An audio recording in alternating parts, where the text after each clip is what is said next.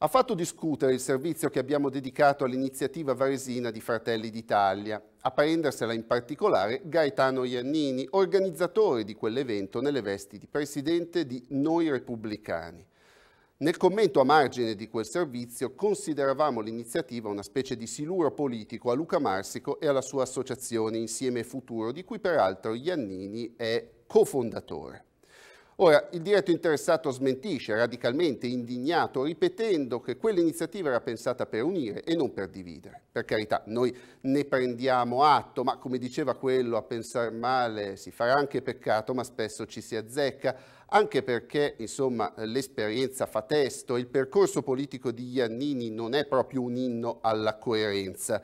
Eh, riassumiamolo brevemente, fiero sostenitore del centrodestra, si candida alle comunali col centro-sinistra, viene eletto nella lista Galimberti, poi esce dalla lista Galimberti, entra nel gruppo misto, insieme a Luca Marsico fonda l'associazione Insieme e Futuro che si propone di aprire una nuova area all'interno del centrodestra e alternativa a quella Forza Italia dominata da Nino Cariniello. Oggi lo ritroviamo regista di un'iniziativa che appunto sembra spingersi in direzione contraria e che in prospettiva potrebbe rosicchiare consensi al nuovo soggetto politico di Luca Marsico, del quale, lo ripetiamo, Iannini è ancora il eh, vicepresidente. Siccome lui insiste però nello smentire questa eh, lettura, noi non abbiamo motivo per dubitarne. Allora ci chiediamo che cosa è successo quel giorno al caffè Zamberletti ed eccoci arrivati al punto, eccoci arrivati alla foto del giorno, perché l'impressione è che Nino Carignello abbia catturato politicamente Iannini e la sua eh, iniziativa, iniziativa che agli occhi di chi mastica la politica in quel di Varese è subito diventata caiagnelliana.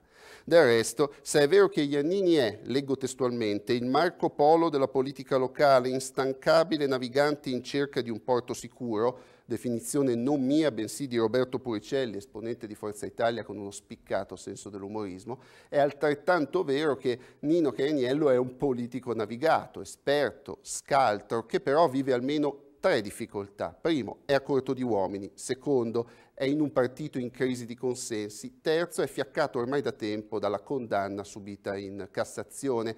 Quindi lui ha tutto l'interesse di mettere il cappello su un'iniziativa che ha il sapore della novità, come quella di Iannini. Il problema è, a lei, caro Iannini, quel cappello non andrà un po' stretto?